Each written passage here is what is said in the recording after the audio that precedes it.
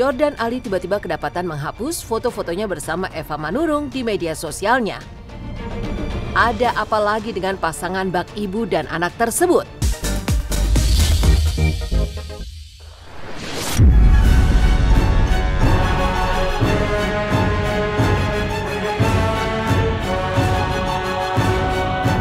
Pemirsa Silet RCTI, media sosial kembali diwarnai beragam berita viral yang menjadi perbincangan hangat warganet.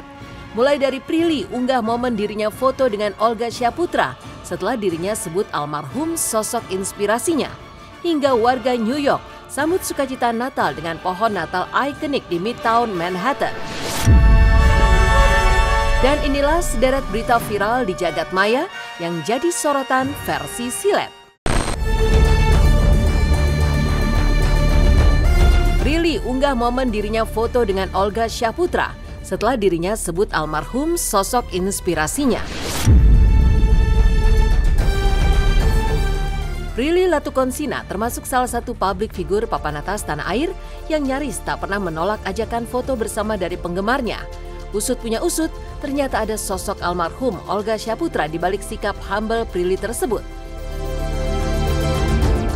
Ya, saat Olga masih hidup, Prilly sangat terkesan dengan keramahan almarhum yang tak menolak saat dirinya minta foto bersama. Padahal saat itu Prilly hanyalah bocah cilik calon pendatang baru, sementara Olga justru sudah menjadi superstar. Keramahan almarhum Olga inilah yang menginspirasi Prilly untuk mengikuti jejaknya. Tak lupa Prilly pun mengunggah foto kebersamaannya dengan almarhum Olga kala itu.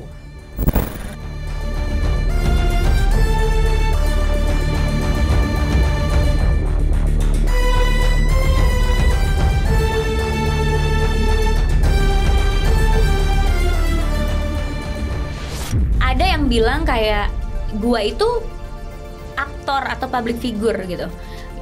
Gue bekerja di saat gue lagi bekerja tapi gue punya hak untuk nggak mau dimintain foto. Ada yang ngomong kayak gitu kan dan ada yang kayak ya di saat gue lagi sama teman-teman gue dan sama keluarga tuh gue lagi liburan gue nggak mau difoto. Hmm. itu hak mereka nggak apa-apa. Gue pernah ngerasain waktu itu gue mau foto sama Olga almarhum.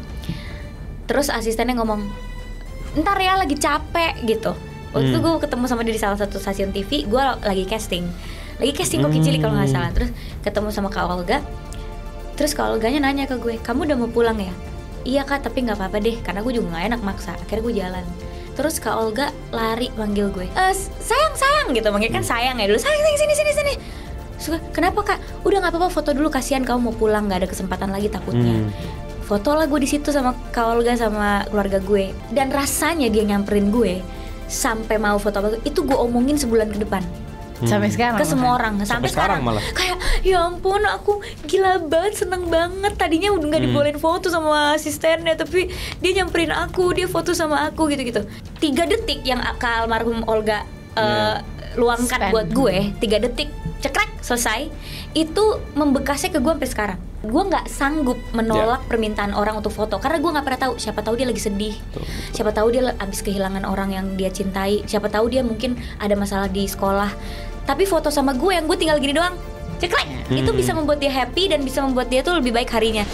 Cuma ya menurut aku hidup itu pilihan ya. Aku memilih untuk berkarir dan bekerja ya otomatis waktunya memang dialokasikan ke situ. Jadi yang penting akunya bahagia dan yang penting waktu aku tuh dihabiskan untuk hal-hal yang positif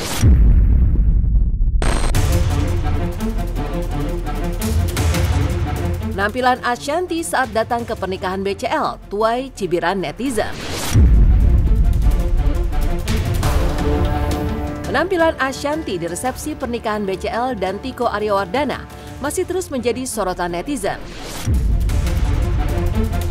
Tampil wah dengan long dress lengan balon dan aksen bunga-bunga di dada, penampilan istri Anang Hermansyah ini dinilai terlalu heboh, melebihi penampilan BCL yang justru tampil lebih sederhana. Lantas, apa jawaban Ashanti terkait sorotan yang kerap menyinyiri penampilannya di sejumlah acara?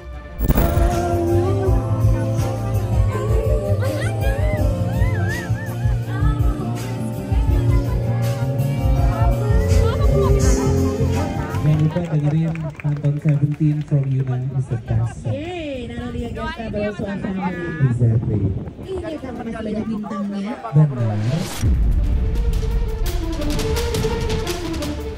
Sebenarnya makanya aku suka bingung nih kalau misalnya kita kan ditanya misalnya orang nih aku cerita ya. Saya orang suka nanya bunda aku tuh kan menghormati dress code. Nih kayak kemarin dress code-nya harus misalnya gaun dan apa ya aku pasti ngikutin gaun yang ada di daerah sini harusnya kayak gimana ya. Kayak sekarang nih Tatler ini kan bo apa acara yang ditulisnya tuh eh, kalau cowok suit kalau cewek ball gown. Nah udah kan ini sesuai dengan ball gown kan? ya memang aku kalau bikin selalu totalitas terus gimana dong? Kayak aku kemarin lihat orang di acaraku tampilnya heboh-heboh aku nggak merasa ih lebih heboh dari aku. Enggak aku merasa sangat-sangat gila ya diapresiasi gue ngundang mereka sampai rela bikin gitu loh kalau aku ya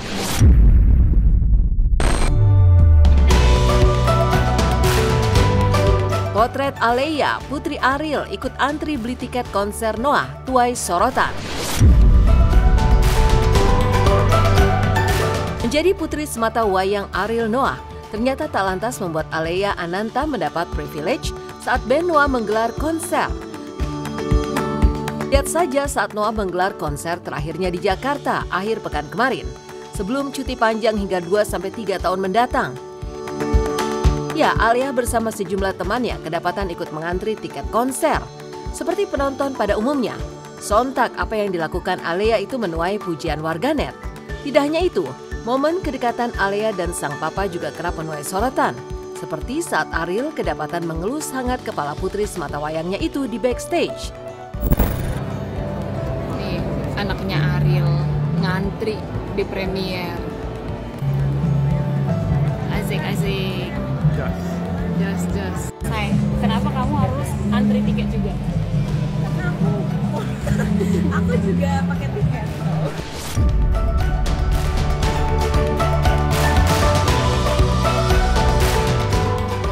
Alia udah gede, sehat. Katanya eh, banyak yang nanyain kapan mau jadi penyanyi. Saya bilang ya nanti aja dia masih sekolah.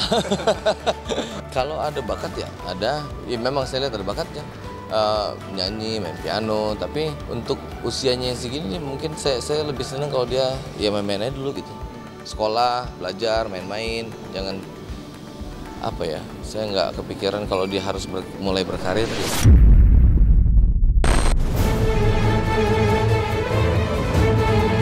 Kembali isu cerai menguat setelah Ria Ricis diduga singgung tengkurian soal nafkah.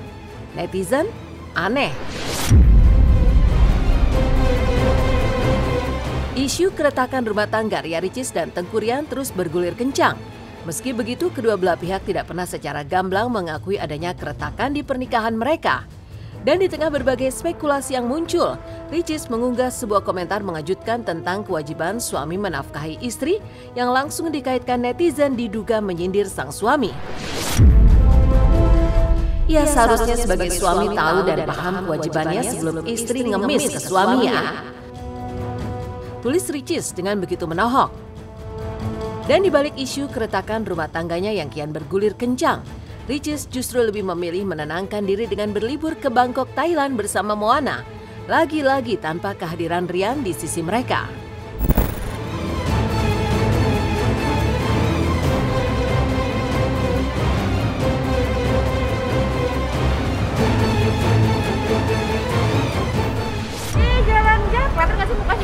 Ada, ada, ada. Dan ini pertama kali aku ke Bangkok, Thailand dan sama sekali penasarannya tuh kali lipat dan mana juga pertama kali the first time, ya kan? Tuh, dia udah nggak sabar juga guys. Doain ya semoga selamat sampai tujuh. Kalau kata orang, eh, memang jangan membayangkan pernikahan itu indah karena pernikahan itu tidak seindah yang dibayangkan dan ternyata emang kita menjalankan walaupun masih seumur jagung memang ternyata lika-likunya banyak banget.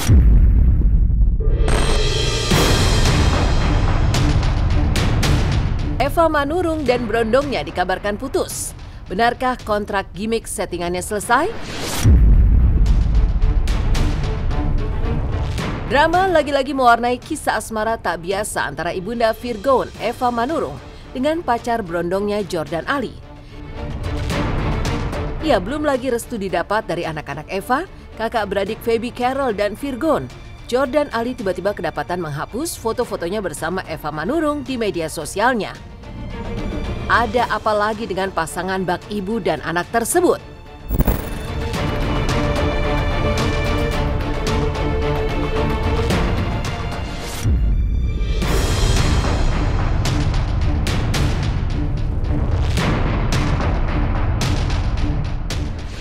Kalau saya mungkin hands up, ya udahlah bubar aja lah gini gini gini. Cemen dong aku. Dia nih kan aku juga harus lihat perasaan dia dia pun harus lihat perasaan aku kan gitu. Kalau kok aku hanya mikirin aku sendiri aku mikirin ini juga ya ngapain juga dimulain kemarin? Mendingan nggak usah. Ya kan? Nggak usah ngapain? Jadi sakit kan kayak gini. Ya kan dia aku tinggalin juga pasti sakit, aku pun ditinggalin dia pasti sakit. Saya yang ngejalanin semua yang tahu, yang tahu pribadi saya, yang tahu ma pribadi mami itu kita sendiri. Kita yang ngejalanin hubungan ini ya kita berdua yang tahu. Jadi terserah kalian mau settingan, kayak mau pansos, kayak mau apa, kayak mau gini gini begini. Udah biasa, terserah kalian.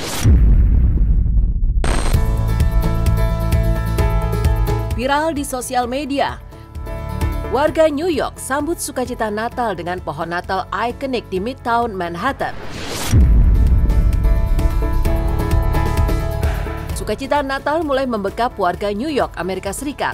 Ya, warga kota terpadat di negara Paman Sam itu bahkan dengan sangat antusias berbondong-bondong datang ke Rockefeller Center guna menyaksikan kehadiran pohon Natal ikonik bertabur lebih dari 50 ribu lampu berwarna-warni Rencananya pohon Natal dengan tinggi 80 kaki dan berat 12 ton itu akan berdiri dengan indah di lokasi hingga tanggal 13 Januari mendatang.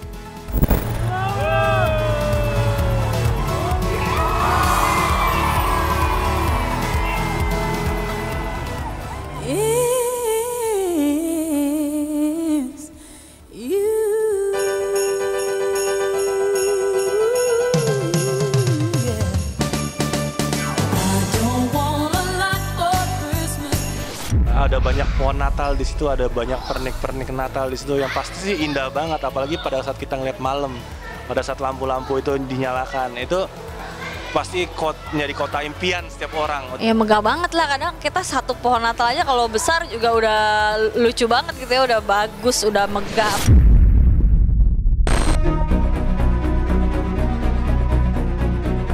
Heboh seorang ibu-ibu berdaster berhasil beraksi buat buaya langsung antarkan jasad anak. Kasus anak diterkam buaya tengah jadi perbincangan hangat warga Kalimantan. Ya, korban yang merupakan pelajar kelas 4 SD diterkam buaya saat sedang mandi di tepian Sungai Arut, Pangkalan Bun, Kalimantan Tengah. Naasnya sang predator air itu juga membawa tubuh korban ke dalam sungai dan upaya pencarian selama 10 jam baru membuahkan hasil setelah warga memanggil ibu-ibu berdaster yang konon merupakan pawang buaya. Dan dalam video yang viral di sosial media terlihat detik-detik saat buaya naik ke permukaan dengan tubuh si anak yang sudah tak bernyawa di mulutnya.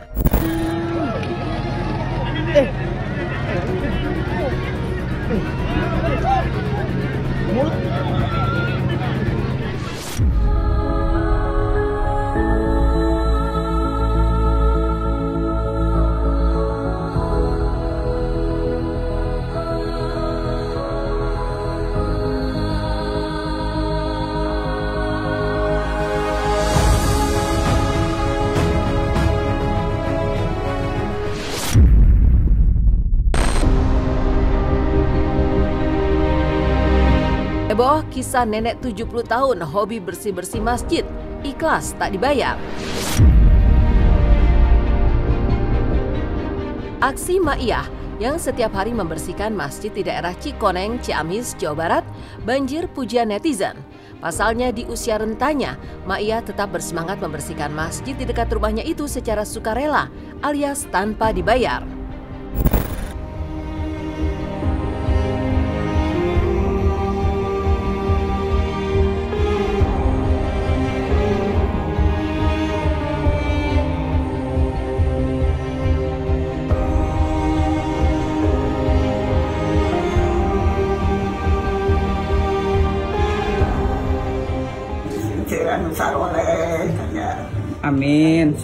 Amin. Amin.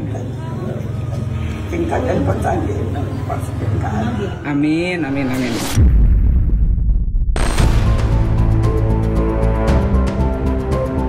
Baby Sabina jalani operasi skoliosis yang diidapnya sejak SMP.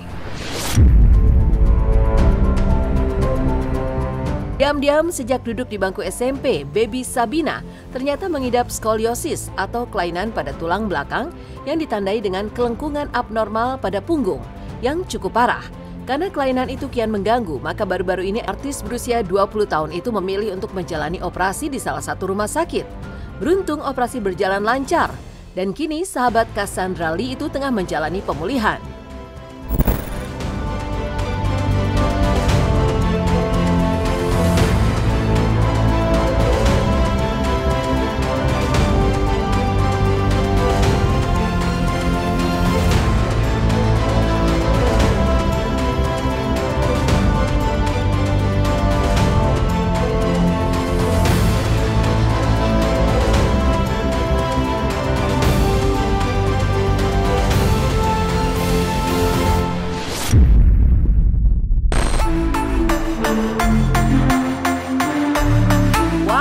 Rosa bocorkan harga undang Real Work Super Junior capai 2 miliaran untuk bisa duet dengannya.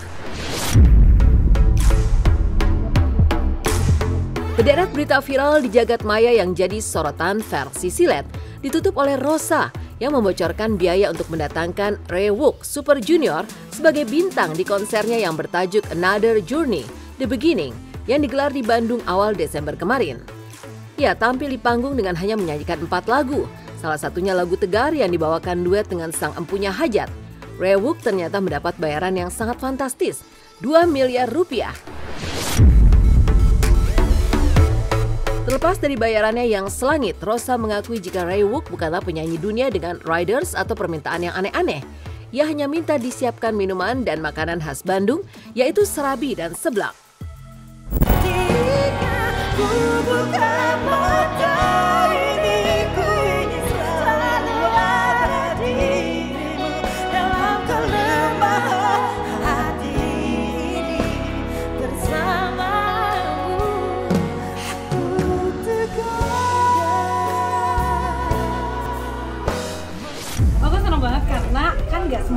Bisa ngundang gitu ya. Intinya itu sih bukan semua orang mungkin bisa bisa apa namanya menginginkan tapi belum tentu bisa mendapatkan. Nah aku tuh bener-bener happy banget karena aku bisa ngajakin sahabat aku Riwuk gitu yang kita udah lama banget nggak ketemu. Terakhir ketemu itu di uh, Super Show itu tahun 2019 kalau nggak salah bahkan jadi totalnya dia nyanyi empat lagu. Kemarin kita sambil makan siang ngobrol-ngobrol itu juga sih apa kita bikin sesuatu ya ayo ayo gitu. Ya mudah-mudahan aja. Doain